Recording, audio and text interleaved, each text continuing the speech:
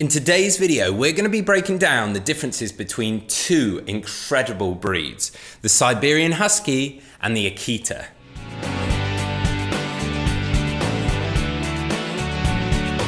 Welcome back to the Fenrir Siberian Husky Show. My name's Joe and I'm a certified canine leader here at FenrirCanineLeaders.com. This channel is dedicated to helping you learn everything you could possibly want to know about the Siberian Husky, and then how to become a high level canine leader that can raise the perfect Huskies. So, if you're a lifelong Husky lover or you're thinking about getting one, this is the perfect channel for you. So, make sure you hit that subscribe button and turn on the notification bell so you never miss a future upload here. And today we're going to take a look into what really separates the Siberian Husky and the Akita. Not only will we compare the origins of these fascinating breeds, but also we will dive into their looks, their intelligence and trainability, their temperament, as well as their exercise needs, and also their grooming requirements. So let's get started with comparing the origins of these fascinating breeds. And we begin with the history of the Siberian Husky. As its name would suggest, the breed originates from Siberia and was introduced to Alaska for the first time in the year of 1908 for sled dog races. The Siberian Husky that we have today has been developed from the native sled dog that had been bred in northeast Siberia for thousands of years. No doubt these ancient people called the Chukchi were highly motivated to perfecting the sled dog by all means possible. Their survival depended upon them because without the sleds, there was no way for hunters to take their food back to their families. In the 1930s, 12 of these Siberian sled dogs were introduced into the United States. Soon these stunning dogs became popular in other countries as well. It is said that every single Siberian Husky in the world has ancestry going back to the handful of dogs who were imported into the US in those early parts of the 20th century. Because of their heritage, Siberian Huskies count as some of the oldest breeds on the planet. However, the Akita might be even more ancient. Researchers suggest that they have been around even prior to the recorded history. In ancient Japan, the privilege of owning Akitas was exclusively reserved to the ruling class, the shogun. Not unlike the husky, the Akita was bred for agility and endurance. However, their original role was not to pull sleds, but to assist hunting parties in northern Japan. The Akita's role was track and flush out large game such as elk, bear, and wild boar, and then they would keep it in check until the hunters would arrive to kill it. This task required not only courage, but also considerable strength and endurance from the dogs, simply because of the rough, mountainous, and often snow covered terrain they had to work in. After World War II, US soldiers brought several Akitas back with them, but it was not until the 1980s that the breed spread to many other countries in the world. In outer appearance, the Siberian Husky and the Akita do have a lot of similarities. This is especially the case for slightly smaller and lighter Japanese Akita, also known as the Akita Inu. Both the Husky and the Akita have beautiful, thick, and plush coats that come in a variety of colours, such as red, sesame, fawn, and white. Other characteristics these two breeds share are their small, erect, triangular shaped ears. Now, let's take a look at how to visually tell the Husky and the Akita apart. The thing that sticks out to me is the eyes.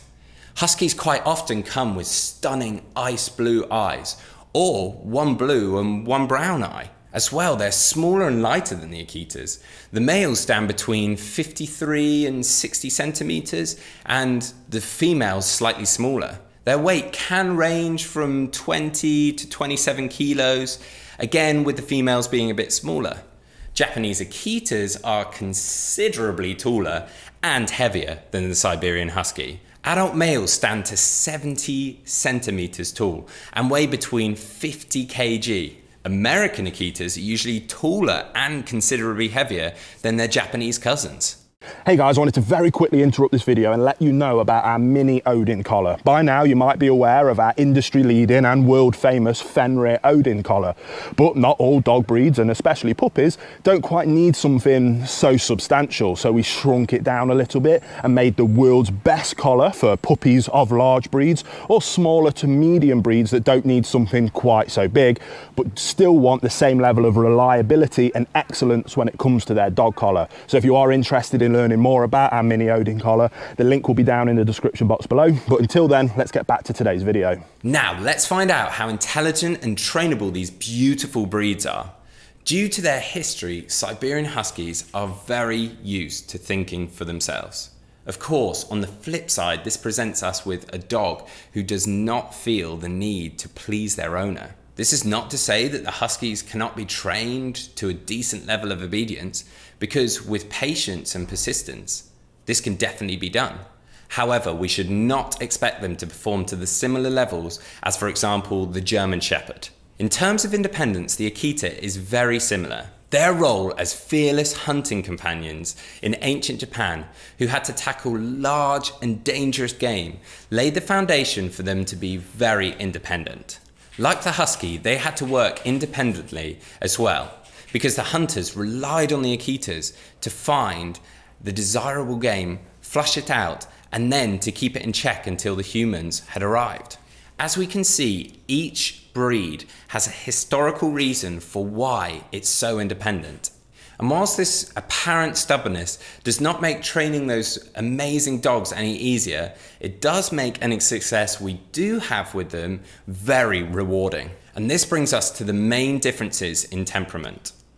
Again, due to their history, Siberian Huskies are excellent team players. That means they get along very well with other dogs. Usually, they're quite sweet tempered towards humans, which does not make them the best guard dog. Back in the day in Siberia, the survival of men and dogs strongly depend on the sled dogs working together perfectly. However, in the absence of strong, consistent leadership, Siberian Huskies can develop aggressive behavior just like the Akita.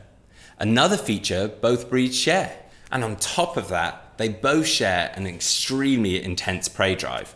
Huskies tend to hunt just about everything, even birds, and can cover enormous distances whilst doing so, which obviously puts the dogs at great danger and again emphasizes the need for strong leadership. And whilst Akitas are also prone to going off on unauthorized hunting expeditions when off leash, they are prone to react aggressively towards other dogs. Akitas need lots of socialization throughout their lives. With the right socialization and training, both breeds can become devoted family dogs and do well with children. However, it is best not to choose either breeds if you have very small children in your house.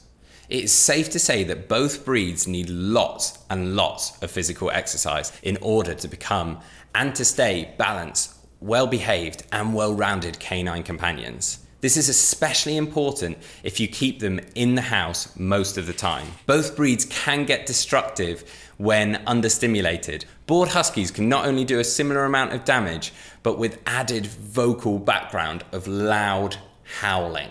Due to their nature as sled dogs, bred to run hours upon hours without tiring, Huskies need more exercise than Akitas. So much so that normal walks will not satisfy them. Unless you actually work them as sled dogs, you could teach them to simply run alongside a bicycle. Akitas, on the other hand, do not need to run as much as Huskies, but they definitely require regular walks, plenty of playtime with their owners, as well as at least one good intense run off the leash per day. When provided with sufficient mental physical stimulation, both the Siberian Husky and the Akita are usually quite happy to relax inside the house for hours at a time. Now, when it comes to grooming, both breeds are very similar, as they both come with thick plush and double coats. To keep these coats nice and shiny at all times, and to minimize shedding, regular brushing is recommended. At least two or three times a week. A pin brush, paddle brush, as well as a comb with wide set teeth are the best tools to use for the rich coat of these glorious dogs. Outside of shedding season, in spring and autumn, both Huskies and Akitas hardly shed. The Akita is especially clean breed. They actually groom themselves by licking their fur, just like cats. And this brings us to the end of our discussion on both these two intriguing and beautiful breeds. I hope you enjoyed today's video.